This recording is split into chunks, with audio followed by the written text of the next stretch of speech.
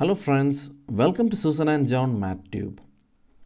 In this video, we're going to continue our discussion based on areas using integration. And there's a small change. Till the last video, we discussed Cartesian system and then the parametric form. It's the same thing, Cartesian system, but we used parametric equations. And now we are going to change the system itself we are going to use the polar coordinate system. Anyway, as always, I will give you an introduction first because there might be some students who are interested in the logic behind the formula. And always remember, only students who are curious, only students who are ready to spend 10 to 15 minutes listening to this part will be really successful in solving the problems. Anyway, for the other students who are not that interested, um, use the formula, solve it, you'll get the answer. Anyway, first thing, Cartesian system means we will have the x-axis and the y-axis. In polar system, instead of x-axis, we'll have one point and one line and the point will be called the pole. It's kind of like the origin and the line will be called initial line. And this is a what you call different system. For example uh, in our Cartesian system if you want to locate a point what you do is you measure the distance in the x-axis or parallel to the x-axis. And let's say that is 1 2 3 let's say this is 3 units. And then you measure the distance parallel to the y-axis. And let's say this is 1 unit so the coordinate of that point will be 3 comma 1. And likewise, every point in the plane, every point in the plane will have a unique, actually this, this is a specialty of Cartesian system, unique representation in the format x comma y. And the equations in Cartesian system will always come in terms of x and y. Now we are going for a completely different system, the polar coordinate system. So in the polar coordinate system, instead of our x-axis and y-axis, we take a point called the pole and a line called the initial line. It is kind of like the positive x-axis. Okay, now suppose uh, you want to locate a point let's say this point. What you do is you measure the distance from pole to the point. And let's denote that by r. And you also measure the angle from the initial line to this orange radius vector. And we call it theta. And the point will be called r comma theta. Okay it's as simple as that uh, so suppose you want to locate 3 comma 90 degree. Suppose you want to locate 3 comma 90 degree. So look at this. One will be length and one will be angle. So what you do is you start from here and move in anti-clockwise direction. Whenever the angle is given to be positive uh, positive angle means move in anti-clockwise opposite to the clock so I move 90 degrees. How much? 90 degrees. And remember this this uh, what you call thing is like a clock but uh, opposite to the clock and I move I move I move till I reach what you call 90 degrees and now look at this this will be the positive side of 90 degrees and if you draw in this direction this will be negative side of the 90 degrees. But we have to plot 3. 3 is positive. So the point will be 1, 2, 3. So this will be the required point. So this is the point 3 comma 90 degree. Okay. So let's go for another point. So let's say uh, I need 2 comma 180 degree. So the same logic. Uh, we start here. This is 0 degree and since the angle is positive I move in the positive direction anti-clockwise direction so I move like a clock but opposite to the clock I reach 90 degree, maybe 120 degree, and soon I reach how much? 180 degree. Now look at this.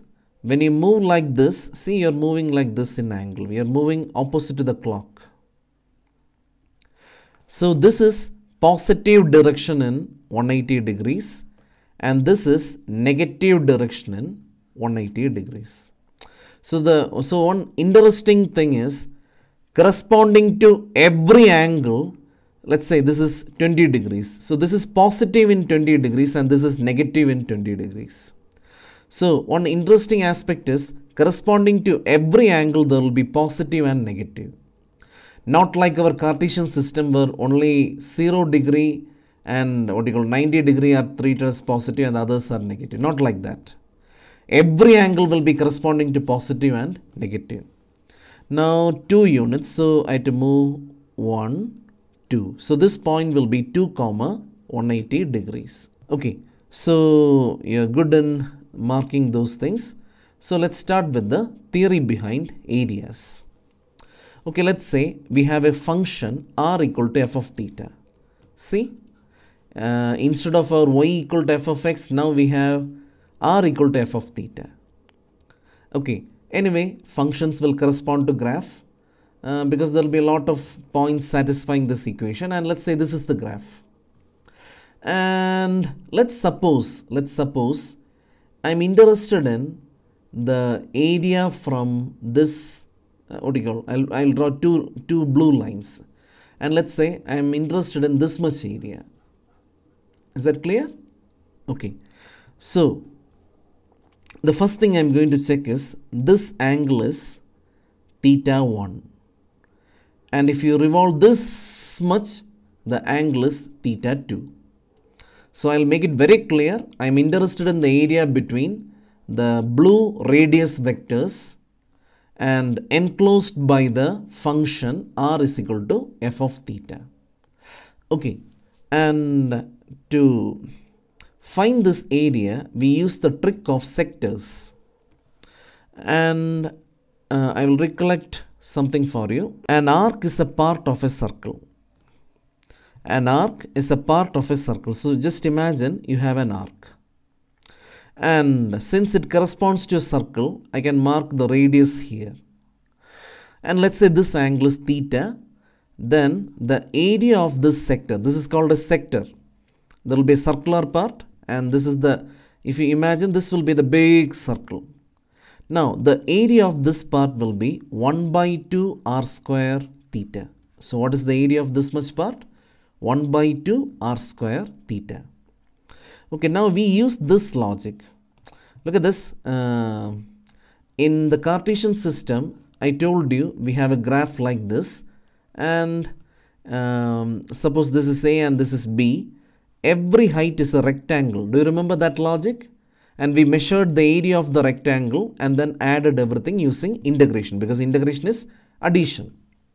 Anyway, here we have a function r equal to f of theta and we are interested in the area between the blue vector lines, these blue vectors. And this angle is theta 1 and this angle is theta 2. Okay, now look at this. If you consider, you can see various r values given by the function r equal to f of theta. That means when you plug in theta, you get r. When you plug in theta, you get r. So corresponding to every input, we will get uh, blue line, green line, blue line of different, different, different, different length. Now look at this. If you magnify, uh, if you magnify uh, this green line, I feel as if the green line is an part of a sector.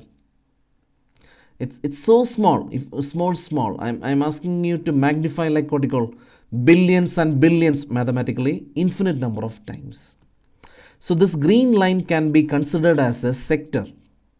And let's say it makes a small angle d theta. Uh, this is theoretical. Uh, don't ask me to magnify that much. I cannot magnify. But trust me, the green line looks like a sector it's like it starts from here and it goes and definitely it's like a small yeah yeah yeah yeah it's a sector and let's say this is r and this is also r. Because corresponding to every value there will be input uh, input of theta there will be r. And the angle between them is d theta. So what will be the area of this sector?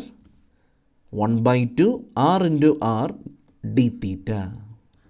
Now look at this. There will be many many many many. Like i told you in cartesian there will be many many many many many many green lines here. So you're going to add them from theta 1 to theta 2 and this will give us the area of this punch part. Anyway, that is the theory behind it and those students who are not that much interested in theory, I will give you the formula. So look at this, in polar coordinate system, the function will look in the format r equal to f of theta. There will not be x and y.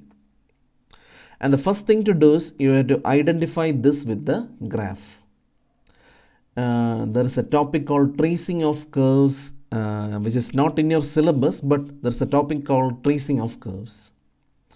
So be good with cardioid, circle, etc. etc. Anyway, um, suppose you want, let's say this is the graph. Oops, I'm not supposed to draw the x-axis, y-axis. What should you draw? Yeah, only this much and let's say this is the graph of the function. And suppose you're interested in the area between these two blue lines. That is, the first one makes angle theta 1 with the initial line and second one makes angle theta 2 with the initial line. Then the area in between is given by integral theta 1 to theta 2 1 by 2 r square d theta. Okay, so that's the theory behind areas and there is a very small video in the next video, we will do a lot of problems based on area in polar coordinate system. So as always, if you like the video, please share, subscribe and like and I'll be back soon. So till then, my friends, bye.